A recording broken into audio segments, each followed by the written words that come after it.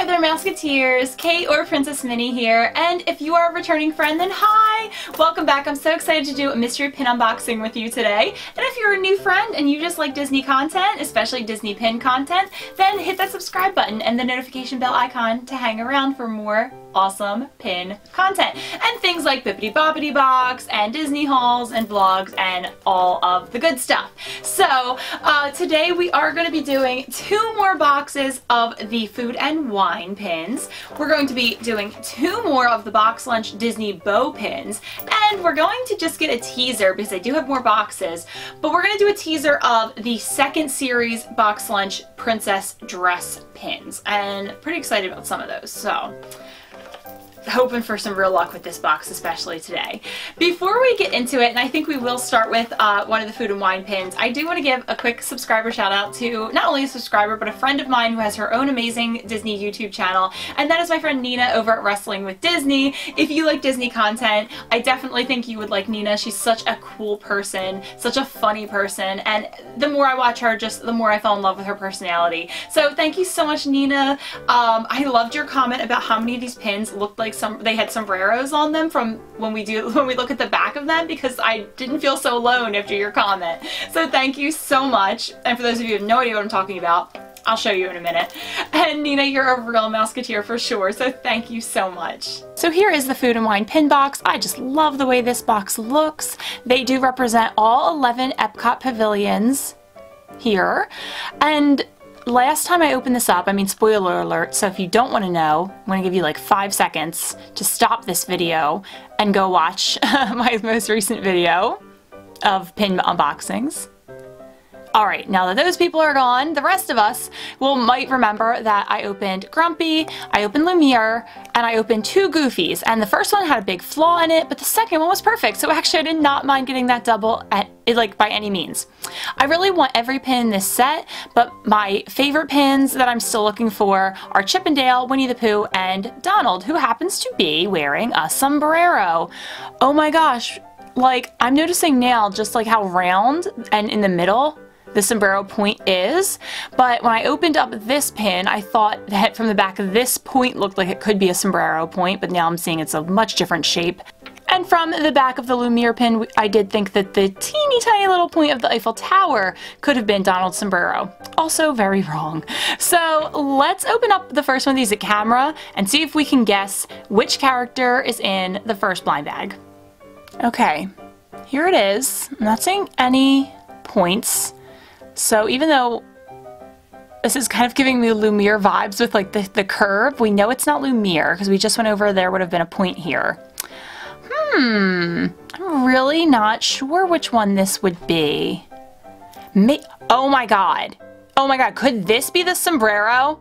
I just, Nina, you know, I see sombreros everywhere now, and now I just need to find out because now I remember it being like floppier. Could this be it?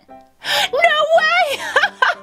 oh, that is hysterical. Oh, I love that. So now we know for sure what the sombrero looks like.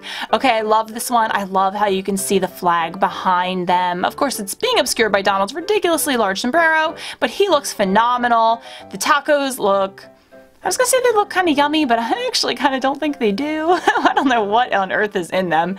But I love this pin overall. It's definitely one of the most fun pavilions and the most memorable ones.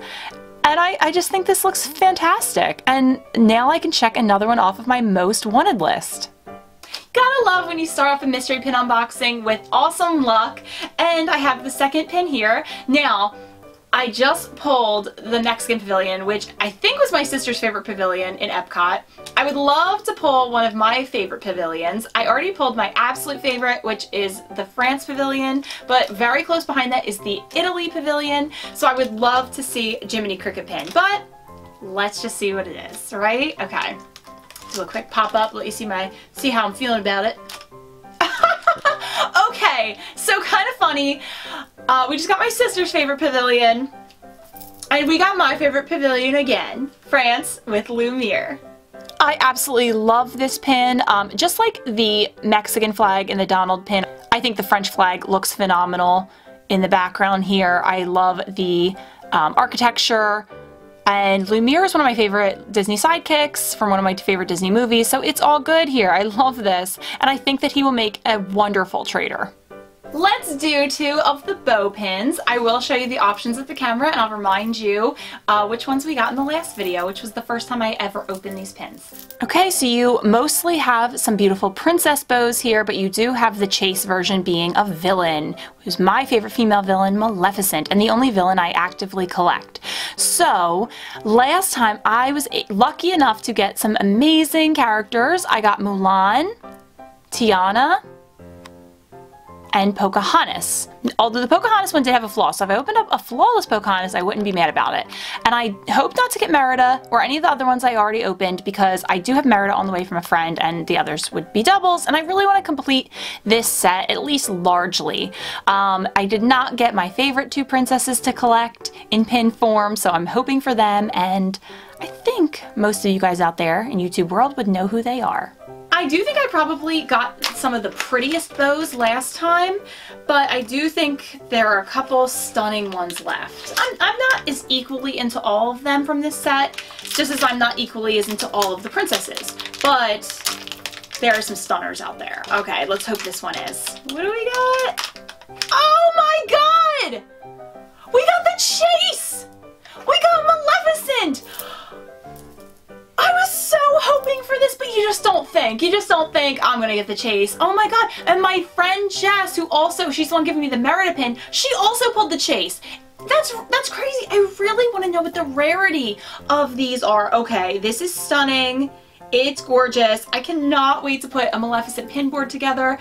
Maybe I'll do that in lieu of like a traditional Halloween pin board this year. I'm not sure, but I think this is absolutely going to be a focal point. It's gorgeous, just like Maleficent herself. Look how beautiful this is. It's mostly that dark green. Um, maybe they could have done like black for the horns, but I still think it's gorgeous no matter what. I like how they have this little accent green there um, just for some contrast. And then the gem in the middle, it's a stunner and none of the princess pins have a gem like that and the glitter is beautiful. Sometimes Box Lunch does not do a very good job quality-wise with its glitter, but this I have no complaints whatsoever. But if you look on the back, yeah, you can see glitter. So like, what is going on at that factory? so, so, so psyched about the luck in this mystery pin unboxing. Okay, so we have one more, and I'm assuming I'm not going to get lucky enough to get two chases. And yes, I would feel that I would feel that that's lucky because I do think it's probably pretty hard to trade for that one. So I'd love to have a trader to be able to help someone else out that with their collection. Um, so I would definitely count that as amazing luck. But you know I'm on the hunt for a lot of those other princesses. I think I might have just seen a color, and I think it might have been what I need. God! I need to go buy a lottery ticket because the luck is real today. Guys, and I'm just quickly checking it before I like show you. So real quick, guess in the comments below right now, who do you think this was? And that way I know you, you didn't cheat. Um, I mean, you still could. I'll never know. Uh, this is amazing. So no flaws. I'm just checking for flaws, but it looks perfect to me. I mean, the glitter is a little askew. Again, we just talked about how that's kind of the, the trend for box lunch, so whatever, you just know that when you buy them. Guys, who guessed right? It's Cinderella! If you said Belle, major props, you know me very well. But Cinderella, oh my god, I love this so, so much. It's gorgeous. I am so thrilled. Like, just seriously, how stunning is this? With all those colors and the carriage at the center? I mean, it, it doesn't get a lot better than this, folks. I am so stunned by all of the pins in this video. I'm so thrilled. Um, so you can see the pale part, whether you want to say that's more of like, it's coming up as a very like silver, like the what Cinderella's dress originally really looked like. Um, but in person, it's a little bluer, I think. And that part is super glittery, and then there's some errant glitter on the darker blue parts, but whatever, that's fine. I think the carriage is flawless. I love this pin. I cannot wait to add this to my Cindy board. For the first time ever on this channel, and in real life too, I'm going to be opening up the Series 2 princess dresses. I'm so excited! The front is pretty, but you know, just kind of basic, but very, very lovely. And so you have eight looks here, and they are kind of just like eight of like alternative looks for some of the Disney girls. I do not actually want all of these. My priorities are, I do love the Aurora dress, I do love the Ariel dress, I do love Belle's, and I do love Mulan's. Those four are my absolute favorites. If I get one of those, I will definitely consider this to be like the luckiest pin unboxing of all time. Um, and if I get one of the other four, that's okay. I just mostly don't want to get this one here. And not because I don't love Jasmine, I do. I just think it's really weird that there's no body other than a floating torso.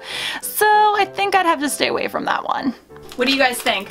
Uh, is, is the luck going to continue? I don't know. I'm feeling good. I, I was thinking about filming another mystery pin unboxing right after this one, but I don't know. That might be like asking too much for, for from luck. Okay, let's see. Oh, it's funny. These are so much smaller than the bows. The bows are like bursting out of the bag. Okay, Okay, not the best luck ever. Um, this is pretty. I don't know if it'll wind up in my collection or if it'll become a trader. It is very pretty though. So it is Tiana's blue ball gown. It's lovely, but to me, her, and I said this in my last video too, her lily pad green ball gown is just one of the most stunning things I've ever seen. So it's not that this isn't beautiful, it's just that, and blue's my favorite color, it's just that it doesn't live up to that one. So it's super pretty. The sash is my favorite part. I love the glitter on it. To me, the silhouette just doesn't do it for me. I don't like the silhouette of this dress. And it almost to me has like wedding dress vibes. So it's pretty. It's just not for me. And as much as I do love some of my Princess and the Frog pins, I try to keep that collection very, very small, uh, just to my favorites. So I'm, this one might become a trader. Alright, and let's open up our final pin box of the video. As a reminder, here are the pins. We are most on the hunt for Pooh and Chip and Dale at this point, although any of the rest would be really, really cool.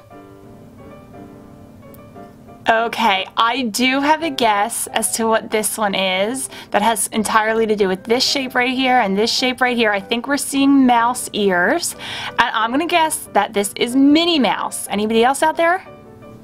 Okay, let's see. Oh no! Okay, I mean, they did look a little off from regular mouse ears, but I forgot Duffy was even in this set. So Duffy is representing Norway, and he has some school bread here. Thank you so much, Robin and Rodney, for letting me know in your video um, that that was school bread. I just hadn't thought of it. I don't eat the school bread in Norway because I think it has coconut on it, and I'm just not a fan of coconut. But I think this is cute. I didn't even know Norway's flag looked like that, to be honest. I think it's beautiful. I think Duffy looks cool. Um, I said this about the Goofy pin that I got last time that I wish his shirt was just any other color really and maybe his scarf too. His scarf kind of flows with this shape of the flag and so maybe that's what they were going for but I don't like the you know the maroon against the bold red here.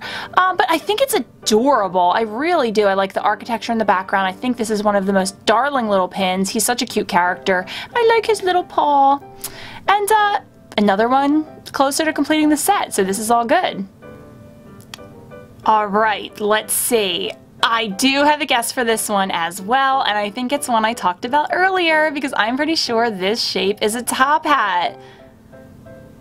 Yes, it's Jiminy Cricket representing one of my absolute favorite pavilions, Italy. Oh, look how cool. And it, what do we have there? Is that pasta? It must be pasta, right? With some meatballs thrown in, but hmm, just it's not like the, that rolled up um, pasta or something. It just looks kind of weird to me. It's a weird color. I'm not digging the food on most of these pins to be honest, but I really do like the flags a lot. I like the architecture a lot. And um, I never really think about Jiminy Cricket being from Italy. So that's a nice little nod to that as well. Very cute.